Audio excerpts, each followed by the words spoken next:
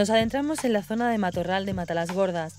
Los científicos de la Estación Biológica de Doñana, acompañados por miembros del programa LIFE de la Junta y por el director del Espacio Natural, van a marcar con un microchip a los dos cachorros de Rayuela, una de las lincesas en libertad que parió hace tres semanas.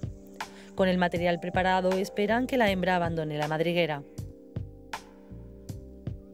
El animal del Parque Nacional está equipado con un emisor, el cual emite una frecuencia de radio determinada y según el pulso que emiten, si es regular o es irregular, pues sabemos si el animal se está moviendo o el animal está quieto. En el momento que se vuelve irregular, pues el animal probablemente se, salga de la trueca y podamos entrar.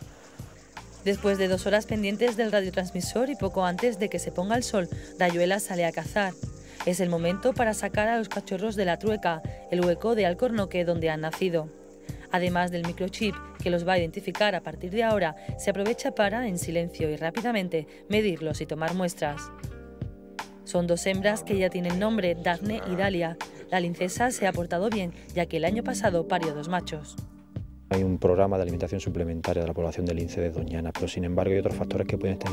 El programa ese básicamente es para, permitir que los linces se puedan seguir reproduciendo en condiciones normales, que, que son las hembras tengan un par de cachorros, que es lo normal. Sin embargo, con esto necesitamos controlar cuántos cachorros están naciendo y luego ver cuáles son los que sobreviven y qué condiciones y características tienen los que sobreviven. En el espacio natural de Doñana hay un total de 14 ejemplares de linces ibéricos que viven en libertad.